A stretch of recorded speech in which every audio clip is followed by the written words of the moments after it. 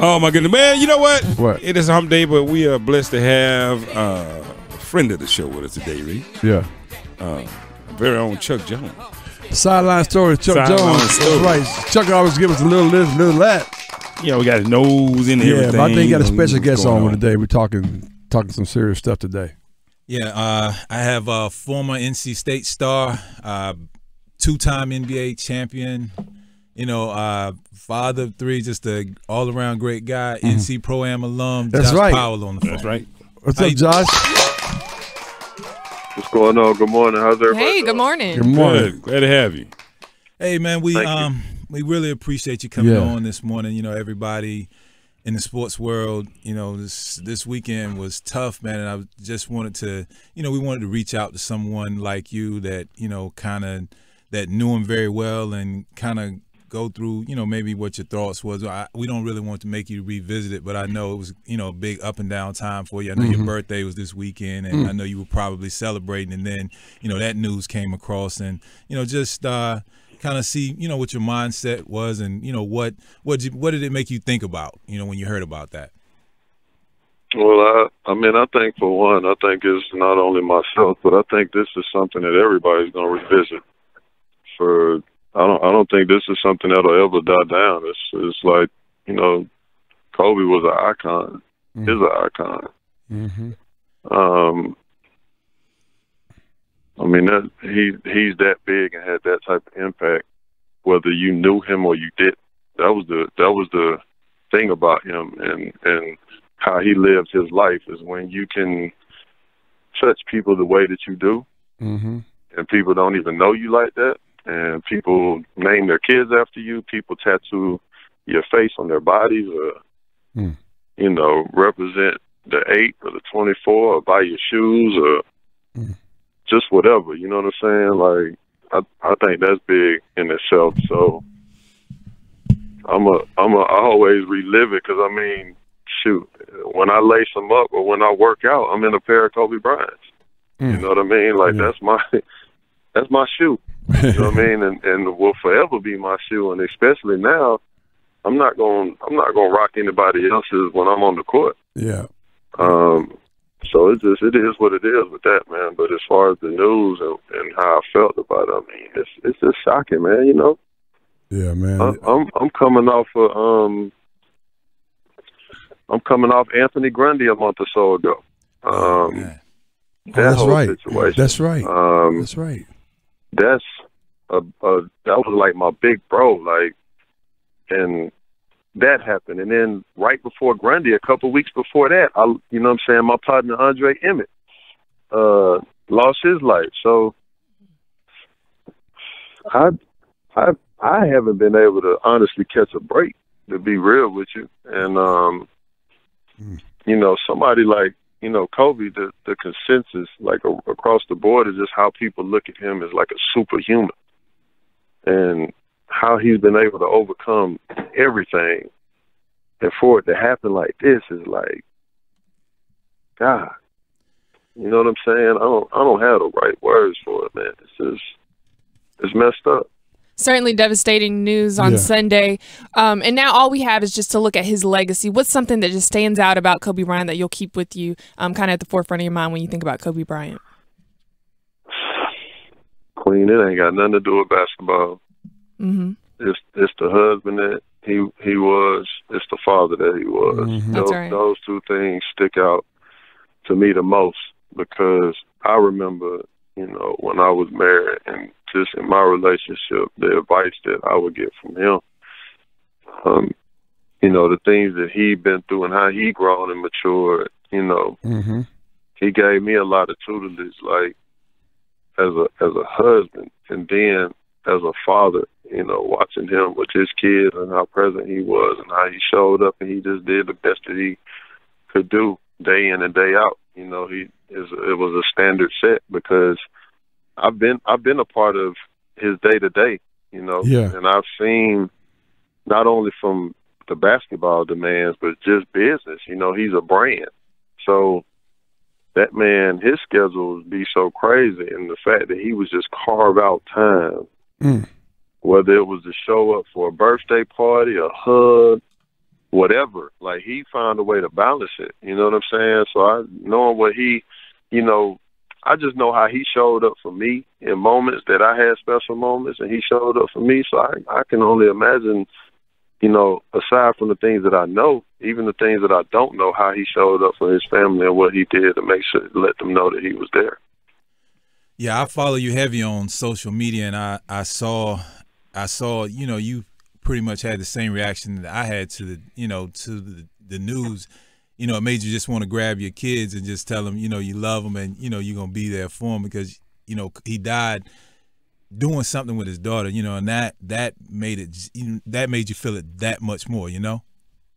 Yeah, absolutely, absolutely, and, and I think the other thing, you know, obviously from a basketball standpoint, what he means again to people. Um, but I, I, it's interesting when you start seeing people, um, you start seeing fathers, especially black fathers. You know what Mm. I'm saying? Which I feel like we don't get our due anyway. Mm-hmm. Um, but you start seeing fathers, you know, wanting to go even harder. Um, you start seeing husbands um, wanting to go even harder. Um, just how he made that cool. Wow. You know what I'm saying? Like Yeah. this for for us to have somebody to see and and and, and I'm just gonna be real. Like I'm just, I'm just trying to think. Like you know, I know Will Smith has been somebody like I I follow and I admire what Will you know like their whole get down him Mhm. Jada like I think is dope. And but from a from a from a player standpoint, you know, Mm-hmm. Kobe and then LeBron. You Yeah. know what I'm saying? Like Yeah. LeBron, fathers, husbands, and he just he just does it on another level, and he don't he don't get his due. You know what I'm saying? Like we'll break down and critique everything else, but it's like that man is there for his kids. He's there for his wife. He puts her on the the pedestal and which a queen should be. Mm-hmm.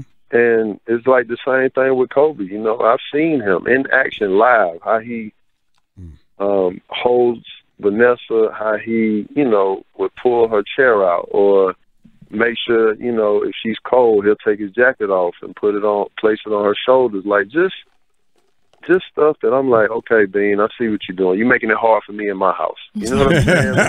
like I gotta, I gotta step it up, but it's like, but you can't do nothing but respect that. That that's that's what I appreciate about him because he's going to raise your level as a man. He's going to raise your level as a husband. He's going to raise your level as a father, and he's damn sure going to raise your level as a player. So, Mm. I mean, that's just how he was. You know what I'm saying? Yeah, we're talking to Josh Powell, NBA champion, two-time NBA champion, former NC State great. Uh, and, and Josh, eh, you know, I always, I, I think I saw a lot of videos, particularly when you guys won championships out there in LA. Let's talk about I, Kobe, the guy. The, let's talk about him as a player, his drive. What what is it about him that's we've been hearing a lot about here recently? That, that he said he has a different kind of motor than most people. I would imagine that you played with before. So, you know, I that that was one of the things that made me and him close is because we shared the motor. Mm-hmm. Um, what separates him from everybody, though, in my opinion, you know, is his attention to detail. Mm. You know, you're talking about somebody um, who the way he studies life, the game. I mean, you're talking about a guy who spoke multiple languages. Yeah. Um, I was just with Lamar this morning, and he was like, "Man, it's like Bean got a photographic memory. Like he can listen to a song one time and know it word for word. Like he just wasn't normal. You know what I'm saying? Yes. Like just how he was with everything and and his preparation, and he just always seemed to be five, six, ten steps ahead with everything. And and he was fearless. You know what I'm saying? Like his confidence it was just next level. Like he just didn't like he didn't care. He gonna do him. He gonna be him, Mm. and that's what he encouraged. You know what I mean? And he Yeah. just had that that swagger about himself. Man, I'm sitting here and, and all this stuff that you're giving me is, is stuff that you want to give your kids. You know, you just want them to hear it because just excellence, man. Just you, you're just giving us examples of his excellence, and I think that's what people are celebrating right now. Just the excellence, and is there any story that you have from you know your mm. championship run? You know, maybe something when you were down or when times got tough that you know he did or said to motivate you guys. To be honest, man, half the time he didn't really have to say nothing. His presence was that strong. It was that powerful. Um, and and when he did say something, he was just like, "We're gonna be all right. We got this. I got this. Y'all just follow me." Wow. And it's just that simple, man. It's, it's nothing. It's nothing more, nothing less. It's just, you know, I don't, I don't know how many of y'all are parents or whatever, but it, it would be no different than you telling your kid that, or if you got a friend or somebody that's close to you that looks up to you for guidance, and you know, whenever they're going through something, they always call y'all. So it's, it's like it's like the exact same thing. Mm. It's just like he comes in there, man, with that with his chest out, with that cape flowing, and it's just like shit, everything gonna be okay. Yep. Exactly.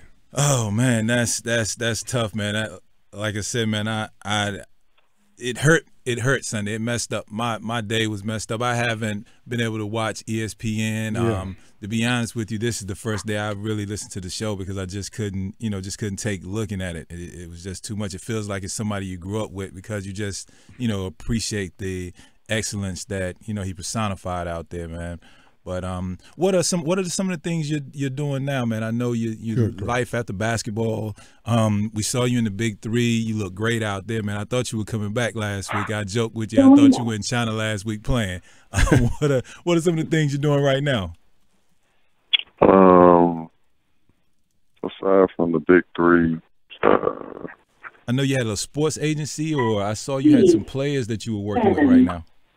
Yeah. So aside from the big three, um, I'm doing. Uh, I actually just started a uh, training company with myself, Dion Glover, and Andre Sandoval. Um, Mm. So basically, we're working with kids, like, and we're giving them a pro experience. So it's something that's a lot different um, than what a lot of people are doing.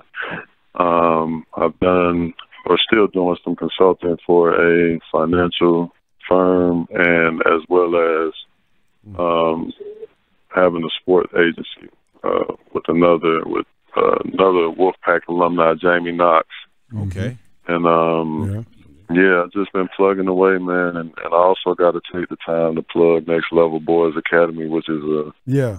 um, you know a place that I've been working with and doing some mentoring with. Um, so just being on the ground and, and you know obviously my kids come first within all of that, but I'm just making sure I'm being intentional, and then every day I wake up, you know, just making sure I live out my purpose. You know what I mean? Just serve. Mm. That's what's up, man.